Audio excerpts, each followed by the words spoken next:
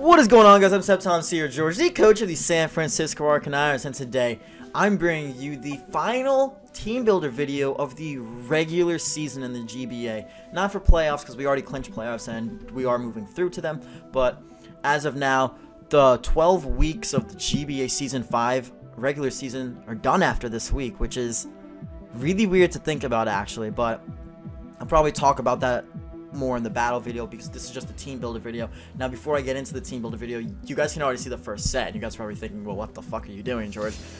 I talked to Hayden at the...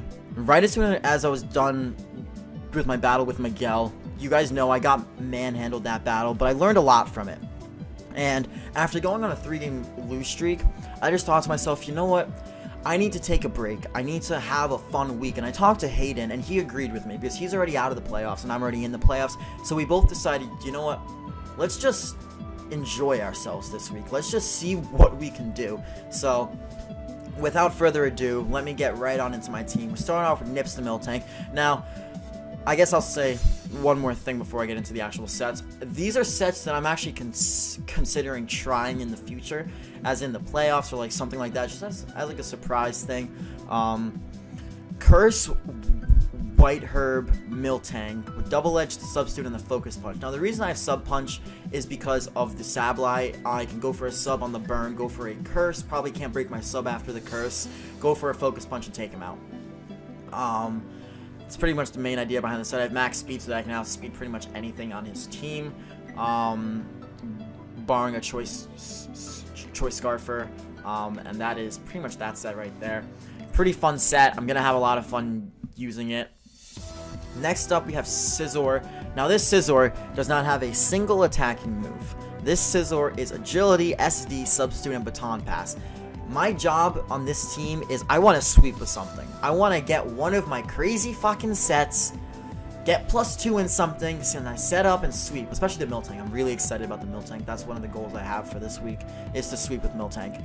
Um, I have agility, I have SD, sub, and baton pass. I go for a sub, and then if I'm going to my Bronzong, I'm, I'm going for an SD. If I'm going into Lopunny, I'm going for an SD. If I'm going into the Miltank, I'm probably going for an agility.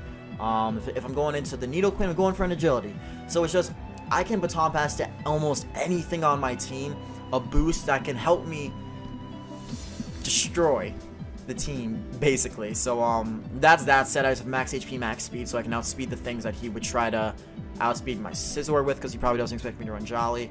Um, and yeah, decided not to try to get any kills with Scizor this week. I actually have a, a plan you will see with this Pokemon right here. Um, a plan that I'm going to try to do first, and if it doesn't end up working, then I'm going to move on to my next sweepers, but we'll see how it goes.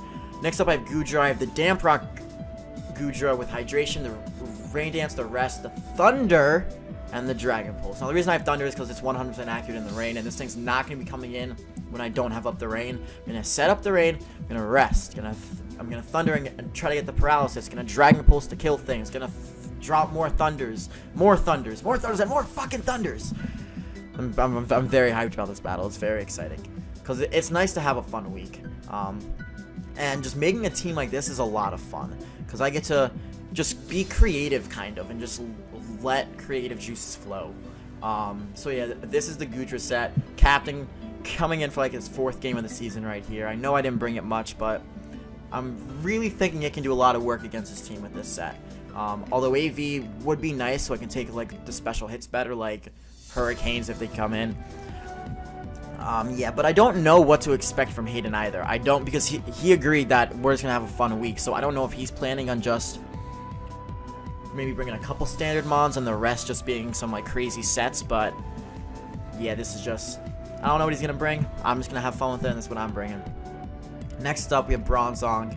We got the Trick Room Weakness Policy Heat Proof Bronzong with Gyro Ball, Zen Headbutt, and Shadow Ball. Um, the gyro ball is for the faster things like Tornadus. I get he, he goes for heat wave on me, or I take a take a flare blitz off a of Darmanitan or something like that. Cause I can with heat proof. Go for weakness policy. Get plus two. Go for trick room. The shadow ball hits the Slowbro. The Zen headbutt hits like the Breloom and other stuff just for stab damage, and then the gyro ball just cleans up shop. This thing if I get up the Trick Room and I have up the Weakness Policy, this thing's going to absolutely destroy lives, and I'm so excited for it. I'm just really excited for every single mod on this team to do good. Um, and yeah, there's really no more explaining this set, I feel like. Now, the last, I'm not saying the last Pokemon, but this Pokemon, I decided I don't want to end the season on a four-game loss streak, so I decided to bring one standard Pokemon in case, and that's my Nidoqueen.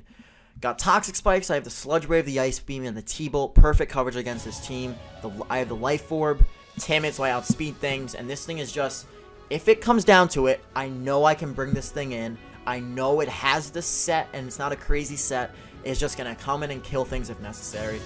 If it comes down to it. Um, I'm going to try to refrain from that. Just try to get all my crazy stuff out of the way first. But if I have to bring this thing in to where I can win the game or, or prevent me from actually losing the game, then I will. So yeah, that's the set behind this. Pretty self-explanatory. Outspeed the Breloom with Timid. Um, outspeed other things if they're not max speed outspeed the Clefable in case he's running like a max speed Magic Guard Life Orb Clefable, which I actually am really hoping he brings. I'm also really hoping he brings the Zen mode Darmanitan because that would just be awesome. Um, and then the Sheer Force, obviously. So yeah, pretty basic set here as well. Now we're going into Shifu. And Shifu right here, guys, we're bringing back Fake Out Last Resort. And I have one plan with this. And it's really simple. I'm to go for Fake Out. Then I'm to go for Last Resort. And I'm to win. And the reason I say that is because with Shifu, it's in the MVP race. And I would really like it. I would enjoy it so much if we can we can end the regular season with the Pokemon with the top amount of kills. And we are, I believe, three kills off of the leader, which is Mega Pinsir right now. Um, I believe he has 20 at the end of week 11, and we have we have 17, and Manaphy has 16. So what I'm going to try to do right here is he does not have a resistance to Last Resort on his team. My first plan is to go for an SD or an agility with Scizor, because I don't have any speed on this thing. If you guys want to see the quick speed thing I have right here, you can see I, I only have I only have 36 investment in speed. Now, the reason behind this is his Tornadus T will not outspeed my Lopunny um, if I run enough speed. Now, usually every week I run enough speed to outspeed the fastest mon on their team, and he knows that. So I'm thinking he'll just be like, alright, I'm going to invest more into bulk, more into attack or special attack than I would into speed. So I'm thinking run only 36 in case, um, but then 220. Now, the reason I have 220 is so that I can better take a Mach Punch off of Breloom if it comes down to it. Um, and yeah, that's pretty much that. So the plan is to get up a sub with Scizor, baton pass it to Shifu, and see how many kills I can get, because I want this thing to be top of the MVP race. It's we decided to have a have a fun battle, so I'm not gonna be running high jump kick, return, fake out. I'm going for fake out last resort. Just that's that's what it's coming down to. This is the last resort right here. This is the final battle of the uh, of the regular season for us, and I want to end it on a win, but I also want to have a good time with it, and I really want Lopunny to be MVP. So um, yeah, guys, that's pretty. That is pretty much it. Um, really look forward to tomorrow when I upload the battle. It's gonna be a great battle. It's a lot of fun. It's a lot of crazy shit going on, and uh, yeah, guys. So if you enjoyed, just comment, like, rate, and subscribe. I am Sceptile MC or George, the coach of the San Francisco Arcanines, and guys, don't go changing.